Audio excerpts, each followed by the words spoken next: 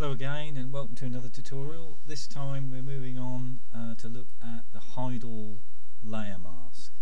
I find this particularly useful and uh, I use it quite a lot so hopefully this will be of some use to you in uh, editing your astrophotography photographs. Right, um, what I've got here is the uh, picture of the Orion Nebula and when I've um, taken my photographs I stack them in the program Deep Sky Stacker which is free, you can get it online. Uh, just google it, you'll find it. And um, when it's stacked you get this image here.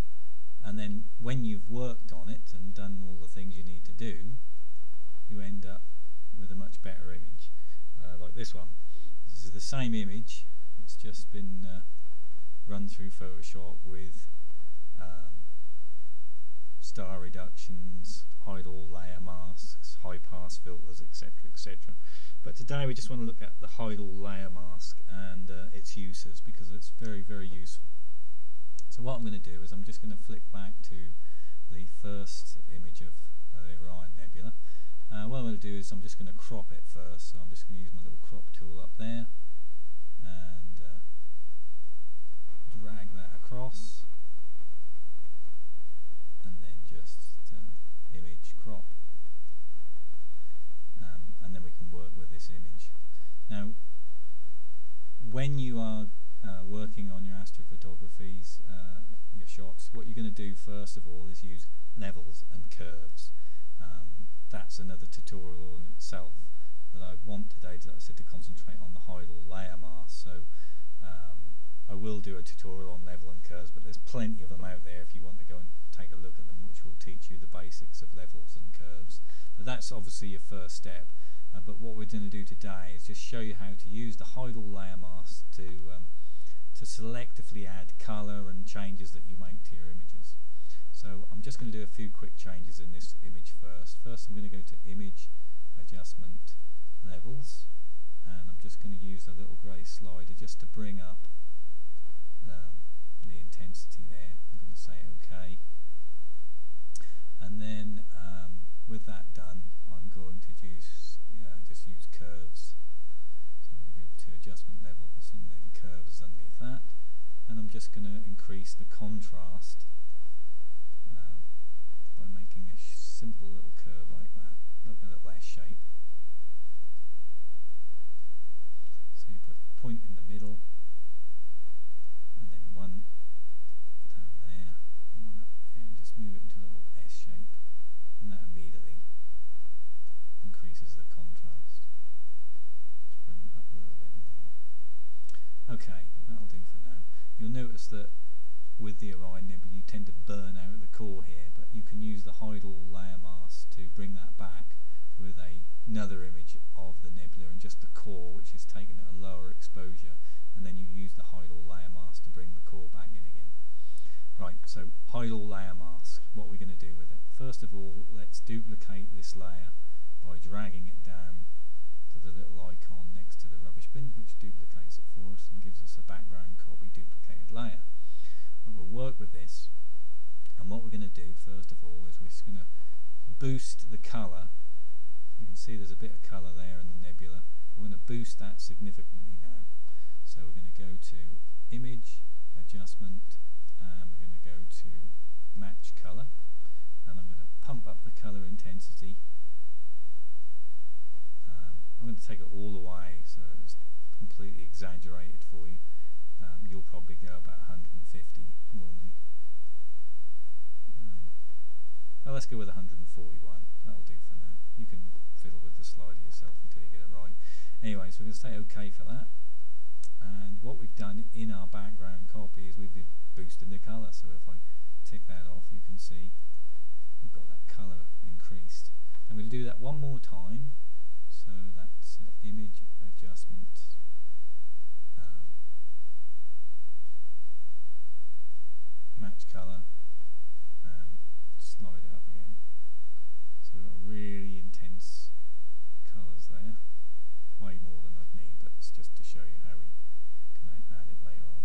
So say OK now what that does is it applies that boosted color to the whole of the image which looks pretty horrible but never fear, because we're now going to use the hide all layer mask. So looking up here at the layers, we're going to go to add a hide all layer mask. So we go to layer, and you go down to layer mask, and you select hide all.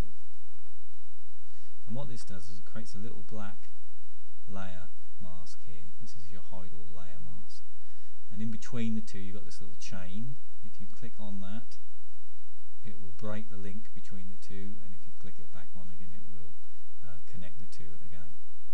And what we're looking at here is the background, the original background without any changes made because it's hiding all the effect with the colour boost that we made. So to bring this back and to add it selectively to the areas that we want we now have to go over here to the foreground and background selector and make sure that white is set as your foreground colour and black is your background colour. You can do that by selecting the default foreground and background colours and then just selecting the arrow to switch between one or the other. But we want the white in place. So with that done, we now move up and select our brush, select the brush tool, um, and for this I'm going to right click here and just use a softish brush with a soft edge. Increase the size a little bit to about that's big enough yeah that'll do. And um, up here in your opacity you can set your opacity to 50% 20% good idea to fiddle with those a little bit just so that you don't splodge too much on there straight away. Okay so what we're really going to do now is paint on that colour boost. So we'll start up here in the nebula area where there's all those dust lanes and we're just going to gently add that onto there. And you can see as I work away on that it starts to add the colour back uh, that bright intense colour that we added to it. But we're adding it selectively only to the areas that we want to add it to. And this little bit here is a nice bit of red in there. Just keep going across that until you start to bring that out and in there and it's just like painting on the colours. That's what you're doing and you can just boost the colours specifically in the areas where you want them to be. Hmm. there we go. Now if you overdo it and you don't like the effect you can just press Control Alt Z on your keyboard and that will get rid of the, what you've done and you can start again. Or if you go over here to your foreground and background colours and switch them over with the black one set at the, at the front and start again it will take it away. So if I do that with the black it will just get rid of what I've done and hide it because white reveals and black conceals as I have said in many other tutorials so I'm just going to go back to my white background again and paint those colours in and using this hide all layer mask like this it's not restrained to just adding colour like this.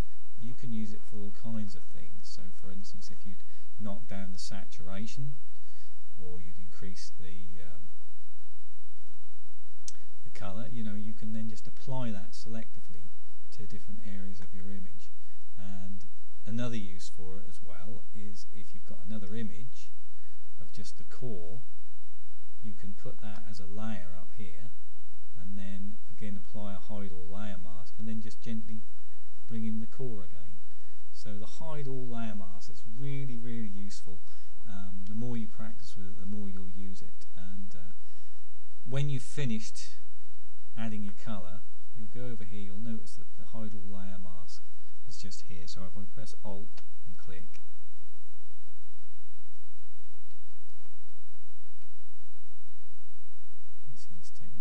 time to come in. There we go.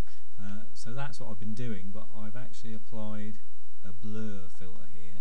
You could do the same. Just go to Filter, Blur, Gaussian Blur, Gaussian Blur, however you say it, and just apply a blur to that of about 5.3 or 5 percent, and that will just blur your image um, and make uh, the effect that you're doing not so noticeable around the edges.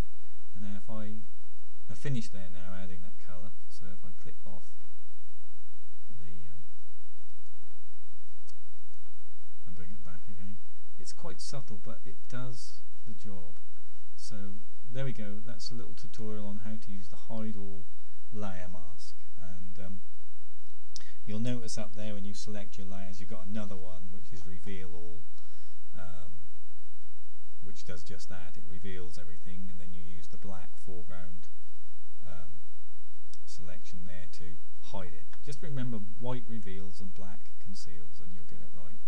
Um, and have fun using the hide all layer mask. Uh, next tutorial I'll be looking at levels and curves and the histogram and how to do that.